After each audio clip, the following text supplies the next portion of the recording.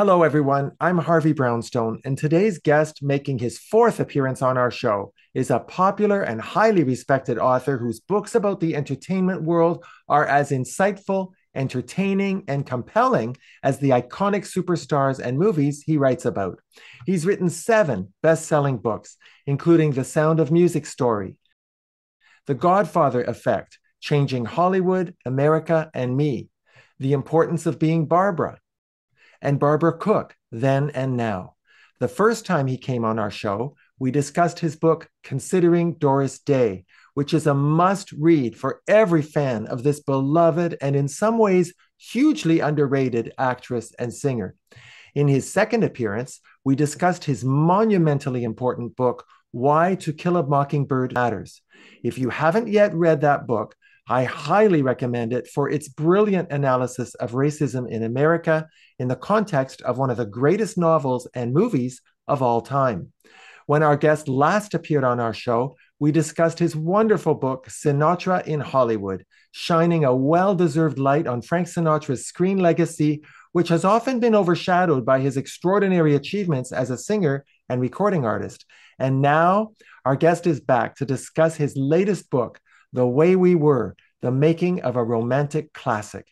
The book commemorates the 50th anniversary of the iconic 1973 movie starring Barbra Streisand and Robert Redford as the quintessential mismatched lovers who were political and emotional opposites, but whom we were all desperately rooting for.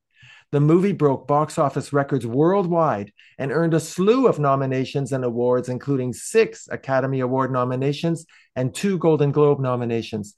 Barbra Streisand got an Oscar and Golden Globe and BAFTA nomination for Best Actress, and she won two prestigious International Best Actress awards. The movie ranks at number six on the American Film Institute's list of the top 100 love stories in the history of American cinema. And the music from the movie has been as highly acclaimed as the film itself, winning two Oscars for Marvin Hamlisch, one for Best Original Dramatic Score, and one, along with Marilyn and Alan Bergman, for Best Original Song, for which they also won a Golden Globe Award. The original soundtrack recording won a Grammy Award, and that amazing, timeless, classic song, The Way We Were, sung so beautifully by Barbra Streisand, not only won the 1974 Grammy Award for Song of the Year, the song was inducted into the Grammy Hall of Fame in 1998, and it ranks as number eight on the American Film Institute's list of the top 100 songs in American movies. And if that weren't enough, the song is included on the list of songs of the century compiled by the Recording Industry Association of America and the National Endowment for the Arts. Our guest's wonderful, exquisitely written book provides the definitive inside story behind the making of a movie which is widely considered to be the most beloved romantic drama of the last 50 years. I'm delighted to welcome back to our show the brilliant Tom Santopietro, my very dear friend. Tom, thank you so much for being here. Uh, thank you for having me back. I've been looking forward to this talk. Me too, Tom. I'll start with the obvious question Why did you write the book? I, I wrote the book because it started to dawn on me that people didn't just like this movie they obsessed over it. And i heard, would hear people quoting the dialogue word for word and i thought now that's really interesting. And then when i started to dive into research and i thought maybe i want to write about this what i realized is that it would complete my trilogy of books about movies that people don't just like but return to over and over and over again, those being The Godfather, The Sound of Music, and now The Way We Were, because they're all movies that people, it says something very elemental about their lives, and that interests me.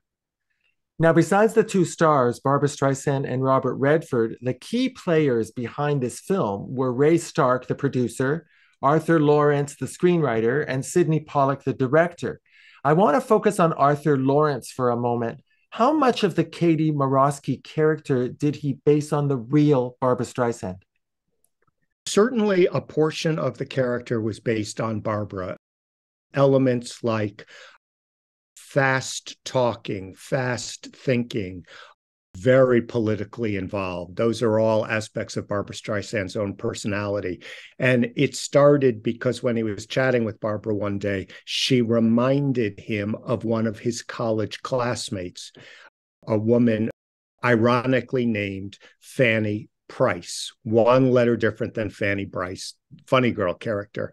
So, uh, you know, it was sort of a combination of Arthur thinking about his college classmate and, as you asked, about Barbra's own personality and elements, interestingly, uh, taken from Arthur Laurents's own life as well. You mentioned Barbra's strong liberal political convictions there's also her intensity her fierce passion her she's unrelentingly serious. That's always the way i see her when she's being herself. A- absolutely. Which len- lends another layer of irony to the fact that her most famous starring vehicle is funny girl because barbra herself is as you said she's pretty intense. So she wants to get the job done. So it all out of all of these different disparate elements you know came a really interesting character and what about Robert Redford's character, Hubbell Gardner, the waspy, confident, golden boy, jock, heartthrob, who can easily skate through life without having to work very hard? How much of that character do you think was the real Robert Redford? I would say, just like Barbra with the character of Katie, parts of Redford were in the character. You, you, know, Redford is an extraordinarily handsome guy, very athletic, you know, charming, all of those elements. But just as the character of Hubbell turns out to have a real talent for writing, you know, Robert Redford's a guy who doesn't skate through life on charm and is seriously involved with environmental issues, for instance, and starting the Sundance Film Institute. So, you know, there's it's like an iceberg. There's a lot beneath the surface of the water. In writing about the on screen chemistry between Barbra Streisand and Robert Redford, you hinted in the book that Barbra may have had a crush on Robert Redford in real life. Her makeup man certainly thought she did. So I went back and watched the movie. I think it shows. Do you? I, I think sure it does. I mean, it it brings the film to another level. I think Barbra probably had a a crush on Robert Redford the way I think every woman in America at that time, at his high, height of his popularity in the early 70s, I think all women did, and probably a lot of guys too. You know, he he was uh, so good looking. So I think their personalities and that attraction she may have had for Redford that informed the film. That's what gives it another level because you have that personal attraction, you have their disparate personalities, their disparate acting styles, and all of that informs the characters and really brings the story to another level. That's what makes it so interesting to watch. Oh, absolutely. You mentioned their different acting styles. I mean, she was so intense and constantly rehearsing and stressing over every detail, and he was laid back and relaxed. Given those differences in the way they worked, are you surprised that the chemistry between them on screen was so good? I'm actually not that surprised because I think, you know, as human beings, you know, opposites attract and sparks come out of opposite personalities and approaches. And I think, in terms of just acting in the movie, even though their styles are different, they were still inhabiting the same universe of telling this particular story. And so I think it really worked. And I don't, my own feeling is never again did either of them have a on screen partner where it worked that well. That's true you wrote about Streisand's unique blend of bulldozer force and genuine vulnerability. She was not pretty in the traditional sense, but she knew how to make herself an object of sexual desire on screen with men like Omar Sharif, Ryan O'Neal, George Segal, James Caan, Nick Nolte, and of course, Robert Redford. Tom, are you able to put into words what it is about her that makes her a convincing leading lady in a love story? I, I think that's a really good question. I think that, well, first of all, I given the right role, she is uh, can be a very effective actress, and this was the right role. So you're interested in what she's doing on screen. You know, you with a real star, you're always wondering what are they really thinking. So she connects on that level. I I think also my phrase about her is that she carries a charge, and part of that is a sexual charge. It's just in a different package than Hollywood had ever glimpsed before. And I think we're intrigued by that. And I, you know, put that together with uh, what I always think of as her extraordinary force and real vulnerability. And you're just interested watching her on the screen. And at a very elemental level, because one of the big things in, as I call it, Streisand cinema is Barbra chasing after and getting the golden boy, whether it's Ryan O'Neal or Nick Nolte. Uh, you know, we're interested in her pursuit of that. Is she going to be able to be successful? You wrote that of all the movies Robert Redford made and all the on screen partnerships he had with every female star from Jane Fonda to Meryl Streep, he never again generated the heat on screen that he did with Barbra Streisand in The Way We Were. Why do you think that was? I, I think, and I do believe that. I think if you go back and you look, he co-starred three times with Jane Fonda. He made Out of Africa with Meryl Streep. I mean, the pairings work, but they don't have that electric charge that this does. I think the reason why neither of them ever had a pairing quite as good again is twofold. No, number one is, of course, the idea of opposites attracting and sparks.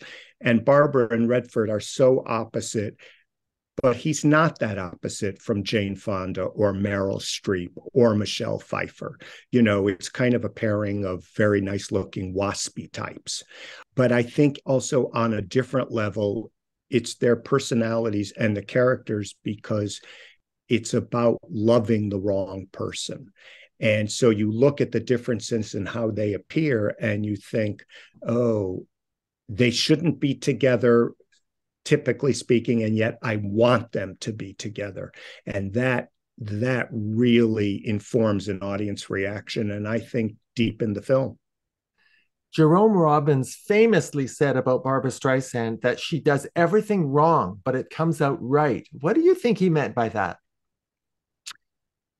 I think it means that taken objectively, you would think, oh, Barbra's over the top. You know, the gestures are too big. She's going for too much of an effect. But because she has that inherent talent, the passion lying behind it, it still comes out right because you respond emotionally to her.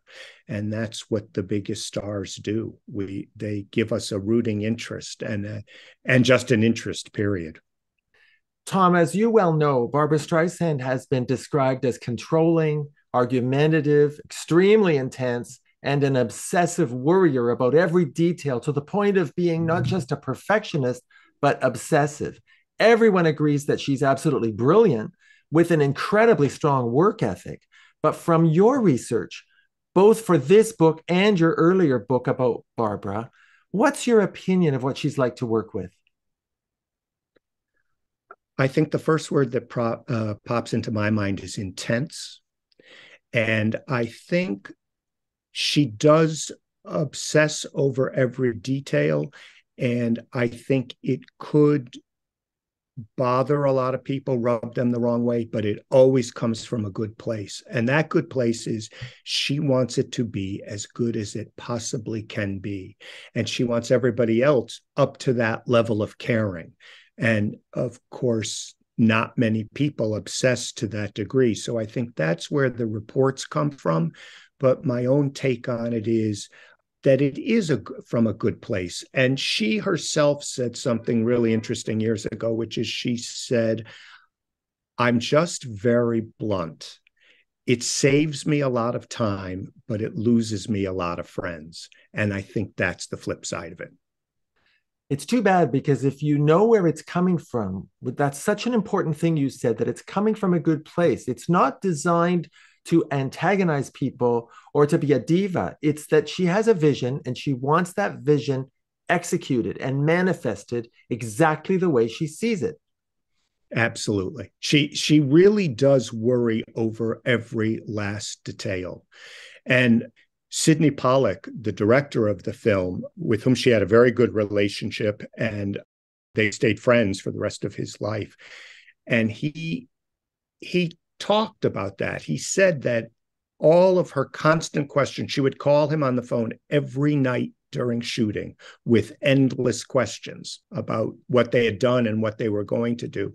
And he said, but it all comes from a good place because eh, she wants it to be great. And then he sort of laughed and said, but sometimes I wanted to say, would you just relax for a minute? So I think that's the dichotomy there one of the coolest things about your book, Tom, which I discovered in the acknowledgments, is that Barbra Streisand actually contributed to your book because you thank her. Tell us about that. That was a probably the the most interesting part, of course, of the whole process, which is that through Barbra's personal manager of 60 years, Marty Erlichman, I was able to he he said, submit questions in writing and I will get them to Barbra's office and let's see what happens. And so I thought a long time about the questions because the questions couldn't just be, Did you like Robert Redford? No. They had to be serious questions about the film. About a month later, I opened up my email and I saw the words for Thomas Santopietro from Barbra Streisand. And, you know, I did a triple take. And what was so interesting about it was that every question I asked, she it was very clear she had written these answers herself. This was not from an assistant. And they were paragraph long answers to every question. And I realized, and especially as we went forward, the back and forth, every word matters to her. Literally every word matters to her. And taking it sort of one step further, I thought, oh, well, this is a perfect example of why she was one of the foremost interpreters of Stephen Sondheim, because Sondheim's dictum is God is in the details. And to Barbra Streisand, every detail matters. I really relate to that. When I was a judge mm-hmm. and I would write my decisions, every single word in those decisions mattered. There was nothing superfluous, there was nothing unintended. And I agonized over the nuance of every word. And I have to tell you that as an interviewer, I do the same thing. My introductions, I work hours on getting the exact order of sentences and the right sentence structure. And the same with my questions. So I really relate to what you just said. I love yeah. that about her. It's you know every one of those details is the they that makes up the mosaic, right? That's the that completes the picture. So, you know, it's the Sondheim song putting it together bit by bit, and that's what I think informs Barbra's approach to her work as both an actress and a singer. And I, I read one time uh, Sondheim was talking about her, and he said when they had worked together on the Broadway album and worked together very closely, and he said the thing that surprised him in such a pleasant way is he said she worried about what the line of the French horn was as much as she did about her own vocal. That's the perfect example. It sure is. So, when you got those answers from Barbra to your questions, did anything surprise you? I think what surprised me was probably how total her recall was from 50 years ago. I mean, 50 years, you know, we forget things from yesterday, but she really remembered every detail. And I had started a question about the song with something I had read in Marvin Hamlisch's autobiography. And in the middle of my question, she wrote in red letters, That's not true. So I I thought, wow, she really does remember everything. That that was and the extent of her passion. But then the extent of her passion is what interests me about her. Has she read the book? Do you know? I don't know the answer to that question. That that's a really good question. I did. Uh, I think I will hear from her or from her reps down the line a little bit. The book is new; it's only a month old. I did receive a really nice email about the book from Lois Chiles, who has the second female lead in the in the movie, and uh, so it was really nice to hear from her and her thoughts about the book and about the movie, which from 50 years ago still holds such a place in in her heart. Well, I'm going to send this interview to Marty Erlichman to send to her because I think she will appreciate this conversation. Oh well, I I that would be very nice. You know, uh, it's clear I admire her enormously. I think that you know these giant talents, and she's one of them. Sinatra's another one. They're just endlessly interesting to us because not only the work product, but we're fascinated by what's the engine that drives them. What, what's the why behind it? And that that's, you know, we're all fascinated by human behavior. Now, Tom, you did not mention Robert Redford in your acknowledgments. So can I assume that you tried to reach him but were unsuccessful?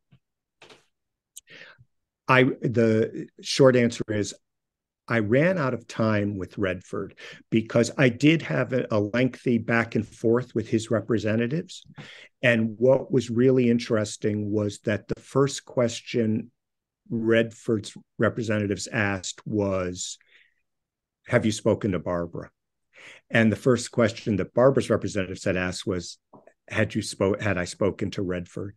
And I think and and I had gotten as far as submitting questions to Redford, they were considering it.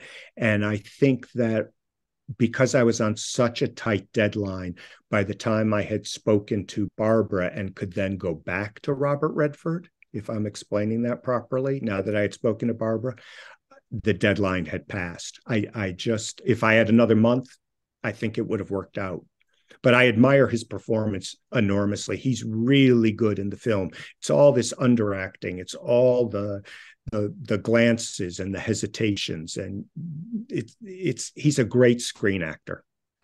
I was surprised to learn from your book that Robert Redford very reluctantly agreed to play the role of Hubbell after being pressured and cajoled by his friend Sydney Pollack for eight months.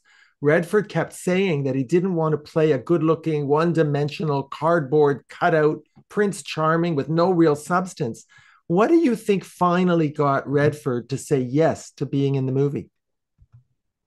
He he was that reluctant. You're absolutely right. He felt that it was weighted much too strongly in Katie's favor, the character of Katie. And I think two things convinced him in the end. Number one is he had total trust in Sydney Pollack as director. They had worked together already, and he he trusted and admired Sydney Pollack as a director. And I think the fact that Sydney Pollack emphasized that there would be rewrites and that he would bring in other writers, I think finally that in effect the combination wore redford down. He just capitulated in the end but he had a lot of hesitation about it. You know that's what makes investigating these movies fun because you think out of his great hesitation came this movie that people were all still talking about. Flaws and all it's a great love story. Oh it sure is. I was fascinated by the parts of your book that dealt with the conflicts between the screenwriter Arthur Laurents and the director Sydney Pollack over trying to strike the right balance between a love story and a political story. And corollary to that, the extent to which the Robert Redford character should be fleshed out. Arthur Laurents was eventually fired, then he was hired back, but he was so upset with the finished product that he quit. Looking back in retrospect, was he right?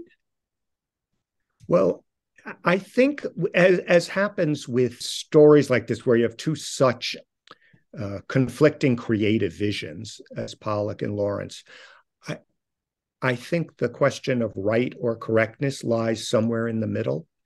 And I think Sydney Pollack was right in the sense of people were more interested in the love story than in the politics. They wanted to know were they going to get together again? Were Katie and Hubbell going to have a happily ever after? And, you know, Arthur Laurents could be, he was famously difficult and acerbic, is the word I would say.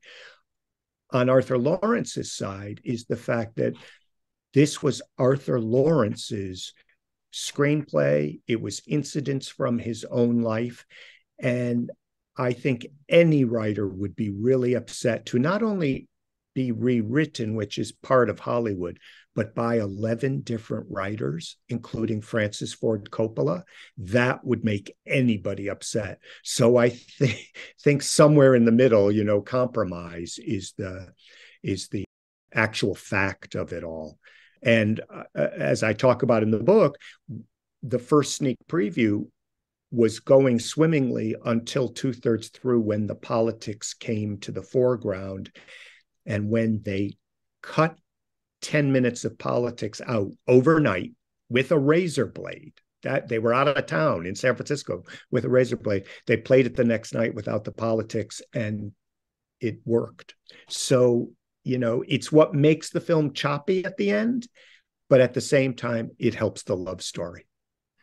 I think Pollack was right. I think if you had added 10 more minutes of politics, political mm-hmm. discussion into that movie, it would have become very didactic, doctrinaire. Mm-hmm. It would have had this tautological feel to it, like we were being lectured at. It would just have not been as compelling. I really think Pollack was right and Laurents was wrong. Well, yeah, I I understand why you're saying that. Certainly the love story is what we all remember more than we do the speeches about people are their principles. So it's a, you know, all of these films are the visions of many different people. And for me, you know, and to to this day, eh, if you look at the DVD, the 25th anniversary DVD, they include a couple of the cut scenes. And Barbra still feels very strongly about these. I there's a scene that didn't make it into the final print that I think not only would have deepened the film, but I think would have gotten Barbra the Oscar, which is a, a really, really great two minute scene where they are talking about their parents and how it's hard for Hubbell to tell his parents that he loves them, you know, that wasp reticence. And Barbra's listening and she looks up at him and she says, I love you, Hubbell. And he looks at her and he looks away. He can't say, I love you, Katie. And it's so devastating, the look on her face. And I thought, why did they cut that? That would have really deepened the film. So we all have our opinions about these things. Yes. And Streisand herself was very upset about one particular scene that was cut. It's a scene in which she sees a university student engaged in a protest, a younger version of herself. And she cries because she realizes that she sold out in order to please Hubbell her anger about that scene being cut had a lot to do with her decision to become a director, didn't it? A- absolutely. Yeah. I think she felt that, you know, here's Barbra Streisand, one of the most powerful actors in Hollywood, and still she didn't have the final say. And she thought, if I direct, I, you know, and produce, all of which she did on Yentl, then she felt she could have the final say. And she did it. I, I think Yentl's a great film that's underrated. And one of the things I include in the book, because it just made me smile so much, was when the New York Times wrote rule number one in show business never bet against Babs. Oh, that is really true. Is that ever true? And I would never bet against Tom either. I know that for Arthur Laurents and probably Streisand and Redford, the political aspects of the movie, especially about the Hollywood blacklist, were very important to them. But don't you think that for most movie fans, the real appeal of the movie was to see these two huge superstars, Barbra Streisand and Robert Redford, in a love story? Yeah, I, I think I think the politics is what gives the film heft and even though those sequences are a little choppy it it grounds the love story more makes it about more something more weighty so that's good. But i think absolutely you you want to look at this is the peak of their screen careers. It's the peak of how great they both looked on screen the way they were shot and that you know the music. The music is hugely important in the appeal of this film. There are shots of them sailing on a sailboat in the ocean off the California coast. And with the sunlight filtered, it, looks so romantic. And then this 60 piece orchestra sweeps up in the background. It's like the orchestra's pushing the boat. And I think, oh, this is romantic filmmaking at its best. You know, nothing wrong with that.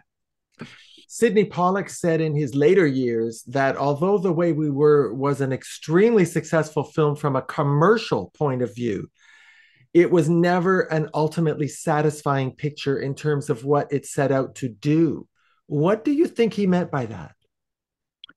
I, I think he really meant about the politics and the, all of the grounding of the love story in the fact that they were opposites politically in college years and and then in 1950s Hollywood. I think he had some regrets over the cutting of those sequences in terms of enriching the film itself, but he was there to please the audience, which the film ultimately did in a very big way. I, I think, look, the at heart, he may have been upset about the political sequences, but it is a love story. And it's the, you know, as I said earlier, it's about loving the wrong person. And everybody has loved the wrong person at one point or another, male or female every single one of us and and i floated this theory I, I, love to tell this story by my friend Jeanine Basinger who's a fantastic film writer and scholar and she said tom you're right. This is about loving the wrong person because everybody's loved the wrong person. And then she said, except maybe 10 people, and who wants to know them? And I thought, absolutely. You know, this is it's the universality of it. So well, uh, I think, Tom, that Sydney Pollack was getting at more. I, I agree that he was getting at the fact that the movie didn't deal with the political issues that it raised. Mm-hmm but it also didn't present a fair contrast between Katie and Hubbell's opposing philosophic approaches to life. Oh, the are you speaking about the fact that she was it didn't come through enough that she was such a go go getter and that he coasted through life? Yeah. Well, I I understand what you're saying because there is at the end in that famous farewell in front of the Plaza Hotel you kind of realize she has had the more fulfilling life right? She's re- she has remarried she has a daughter she's still politically passionate. He's kind of sold out. He never wrote another novel. He's writing for television and he's the character that seems more lost and i think maybe Sydney Pollack felt that that should have been fleshed out even more it's a good point now, Tom, as you know, there were mixed reviews when the movie came out. Roger Ebert gave it three stars, but Time magazine said it was ill written, wretchedly performed, and tediously directed. Pauline Kael said the plot made little sense, but generally the mainstream media gave the movie positive reviews. And when I look at the enduring appeal of the movie all these years later, for me, it's so very relatable as you said, because everybody at some point in their life has been in love with the wrong person because they followed their heart, I guess, and not their head. That's yeah. what really touches people about the movie. That's really the point that you feel resonates, isn't it? I, I do think that. And I, I think it it touches our emotions. It touches something very elemental in our worldview. I know that sounds sort of highfalutin, but I, I actually believe that.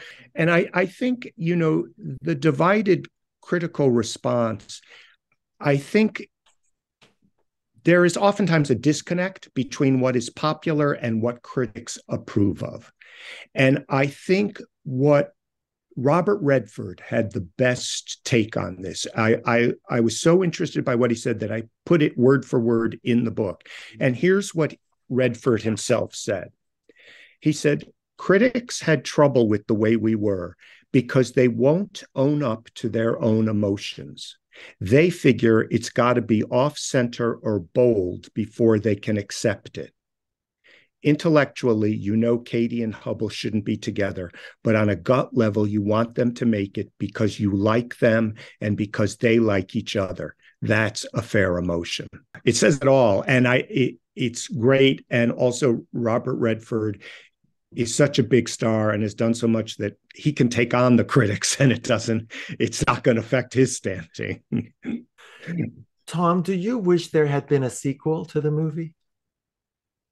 I do actually. I mean, on the one hand, you sort of think, let's leave things well enough alone, you know, kind of like there shouldn't be a sequel to Casablanca. But on the other hand, I just want to know. And of course, there's that part of me that wants Katie and Hubbell to get together. And they, three versions of a sequel were written, but just something was always wrong. The timing was off or the script wasn't right. Redford and Streisand schedules were so different. And I think they had a very interesting idea for the sequel. And I think people say to me, well, what, what was the sequel going to be? What was the storyline? And I always say, well, to find out, you have to read my book. And then, and then I say, I have my own idea for a sequel that still could work. So it, yeah, I do. So, you know, I, I, I, you want to see them try to make it work once again. And sequels, you know, almost never work, except, of course, for Godfather Part Two, which is one of the masterpieces of all time. Yeah, I'm. I would be very nervous about a sequel. Now, Tom, I can't resist asking you this question. I apologize in advance. It's about the Academy Awards ceremony. When Barbra Streisand refused to perform the song on the show, they got Peggy Lee to do it. And in my opinion, she did a terrible job. She even got the lyrics mixed up. Who do you think should have sung the song if Barbra Streisand wasn't going to do it? Well, I I think when Barbra decided, you know, Barbra said no because that was during the point where she was not performing live. And then at the last minute, she said yes, but Peggy Lee had already agreed and changed her concert schedule and they couldn't disrespect her. You know, Peggy Lee was such a great singer that on paper it would have been a good choice, but she was off that night. The other incredible version of the way we were that I've heard that everybody could look up on YouTube is look at the footage of Doris Day singing the way we were from a television special. It is a knockout. And, but of course, Doris didn't perform live either. So uh, it's always the what ifs that interest us, isn't it? Yes. And I, I was thinking long and hard about who should have sung it I had Doris Day on my list, Melissa Manchester, or Diana Ross. Yeah, all great choices. And the one other person I would put in there because of her terrific recording is Gladys Knight. Oh, yes. Gladys Knight was a great, great singer and did that terrific version that was a hit single for her as well. It's a great song that Marvin Hamlisch and the Bergmans wrote. Oh, for sure. I want to tell our viewers that you can learn more about Tom Santopietro, order his books, and see his personal appearance schedule by going to his official website, tomsantopietro.com. Well, Tom, it's been wonderful having you back on the show, and I can't wait to see you again when your next book comes out. Thank you so much for taking the time to appear on our show.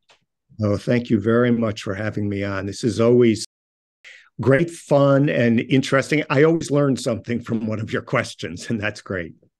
And I learned so much from your books. They're such a pleasure to read. You are a wonderful person to interview because you're so focused.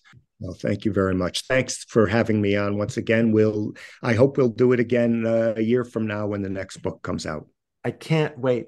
Our guest has been author Tom Santopietro, whose latest book, The Way We Were The Making of a Romantic Classic, is available on Amazon and wherever books are sold.